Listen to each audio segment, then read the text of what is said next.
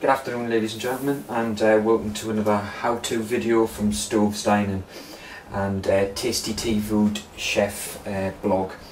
Uh, this afternoon we're going to do uh, a Black Forest Gateau with a little bit of a difference. Um, what what we're doing is obviously this time of the year it's really good cherry season at this time of the year so we've got some really nice cherries but what I'm going to do today is I'm going to use Griottine cherries for a change. Now Griottine cherries have been, uh, they are they're, in, they're preserved in sugar and kirsch so this is a bit more of an adult themed um, dessert. So what we're going to do to start off with, we've got a lovely glass here, I've got a nice presentation glass. So I've made a nice chocolate mousse up here. And what we're going to do is going to start this off and we'll just start off with a little bit on the bottom just to get this going. So you've got a base for the first sponge to actually sit on. So what I'm going to do is I've made some sponge here. Now this we're actually just going to put into the bottom and then a little bit of the Kirsch liqueur just to soak that a little bit in there after that. So what we're going to do now is going to put a few of these cherries in. Be careful putting them around. You either always put them in odd numbers, either fives or threes or sevens but we'll put five of them in there and then we're going to top this off with a little bit more chocolate mousse on top of this. This you can do prior to your meal because this mousse needs to set up in the fridge. But that's not much of a problem. So we'll just do now is just tilt this. So you get a nice effect around the side of the glass there. So what we're going to do now is we have another sponge which we're going to go in here now. Just press that down. Obviously another bit of the liqueur in there. and a few more of the cherries. We'll put another five in again around the edges. And you get to see these through the glass. Move that going around a little bit. Just push them down a bit. Like we see in this mousse will go in the fridge and it'll set up.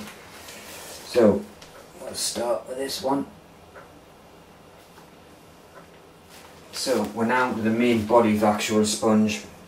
So we'll do the same again with the next next layer.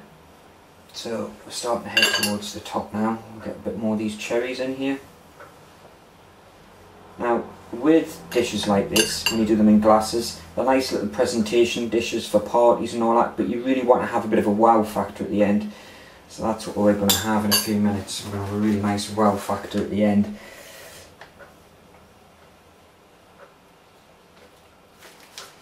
So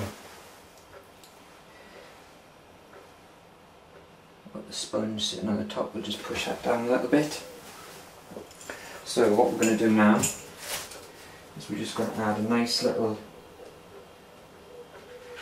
quenelle of cream on the top and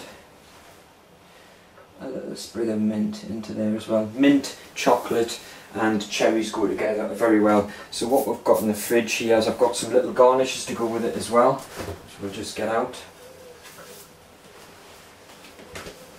So I've got these ones I made up before.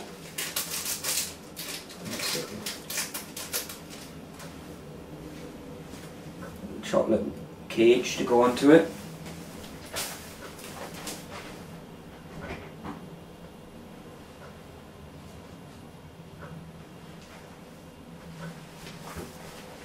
So we'll also have you melted some chocolate and piped them out really thin as well. What we'll do with this is we're just going to slightly break that up a bit just so it's not too big and overpowering on the dish.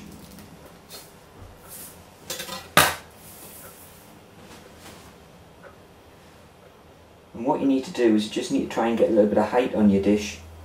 So if you put them in the fridge, let the mousse set up, it'll probably take about half an hour to 45 minutes to set up and that'll be a lovely little dish for um, desserts and that is my version of Black Forest Gateau.